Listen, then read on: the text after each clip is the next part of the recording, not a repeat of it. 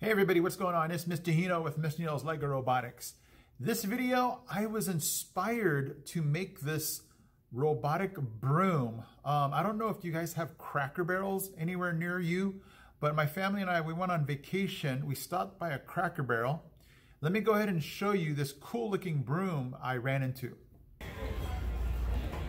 I'm gonna make me one of these.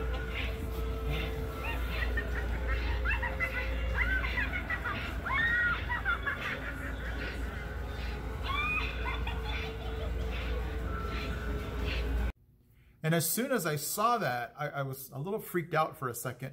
But as soon as I saw that, I'm like, no way, that's exactly what our Lego Mindstorms EV3 robot can do. So my brain started to go, you know what? I bet you I can get home and make something just like that. So this video, you're gonna have to stay with me because I'm gonna make one of those magic cool brooms.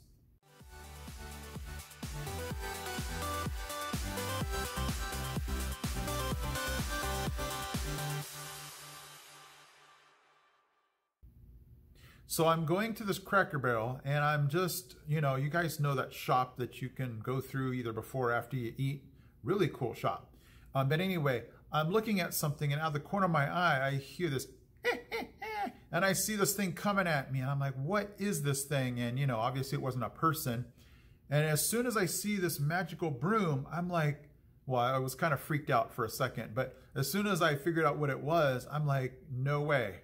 I can totally see this becoming a, a Lego Mindstorms EV3 robot. I knew exactly what principles were involved in how this thing worked. I mean, you guys know what sensor is being used in this uh, robot, right? Come on, everybody say it. Um, but anyway, I wanted to get back as soon as I could to my room and start, you know, working on making one that looked just like it. So you're gonna have to um, take this step by step and see what I'm doing in my journey on making this magical broom. Let's go to step one. So step one, I kind of wanted to start with the easy part that I had all the materials for.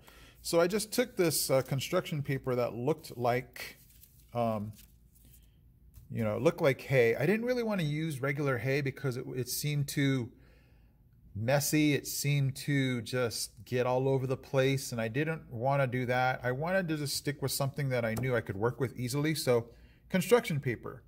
So I just took, you know, yellow or beige looking type construction paper. I used my cutting board to just cut them into strips.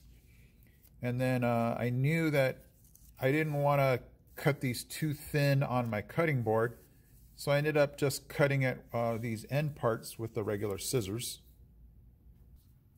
So I'm just now going through all of these strips and kind of just cutting skinnier strips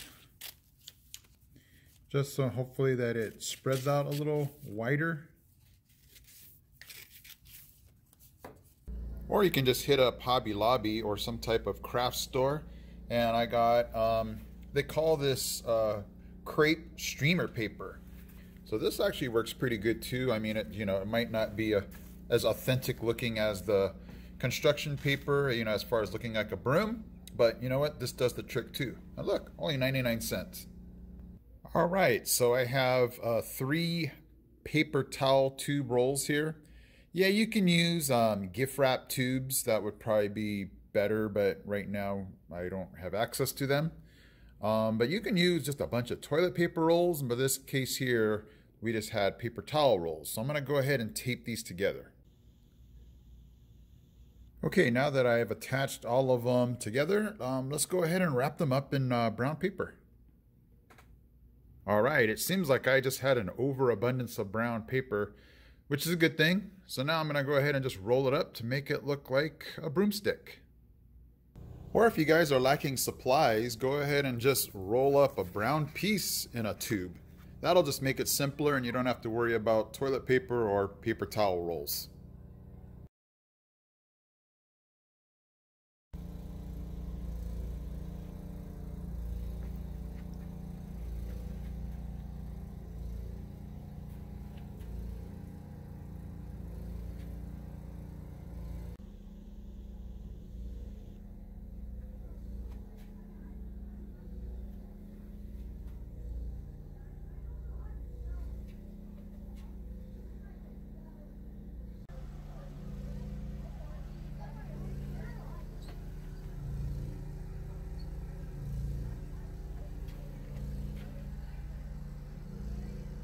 This one gets my genius award of the day because look what they did. Not only did they make a platform here where I can actually still be able to press the buttons, but they made a broomstick holder. I just place this right on top, slide it down, and we don't have to worry about it being taped onto there or falling over. I thought that was absolutely genius. All right, so let me let you watch the magic broom in action. Notice the witch sound file on here.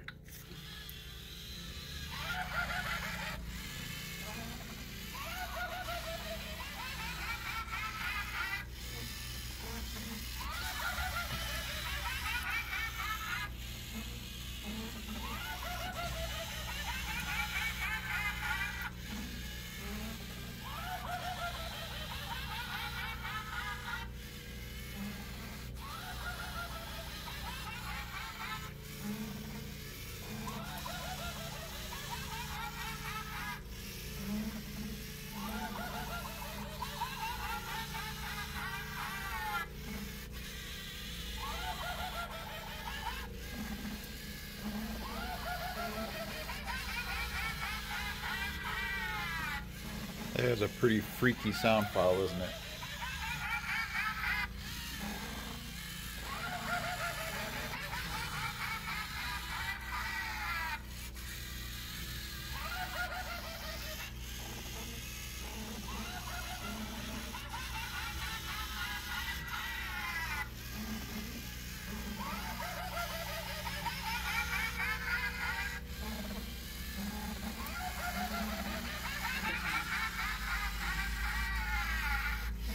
Okay, guys, so there you have it. The Cracker Barrel Magic Lego EV3 Mindstorms Magic Broom. Um, it can be as complicated or as simple as you want. Obviously, there were some different avenues we took on what we used for resources. And at the end of the day, it's not necessarily about, you know, unless you're trying to win a authentic contest here, it's all about the students understanding the program, understanding what they're trying to achieve, um, rather than, hey, you know, your broom kind of stunk looking like a real broom. It's all a matter of, hey, did they fulfill the, you know, the objective of getting their robot to act like the magic broom? And you know, if they're if they can make it look cool and authentic in the process, that is a plus. Okay, so hopefully you like the whole process of this. I just thought it was genius, and I'm super satisfied that we were able to get it to look like the real Cracker Barrel one. You know, it just the concept was just there and I knew it was there and it was just a matter of putting everything together and it was awesome. Okay guys, thank you for watching. I am Mr. Hino from Michelle's Lego Robotics. I'm out.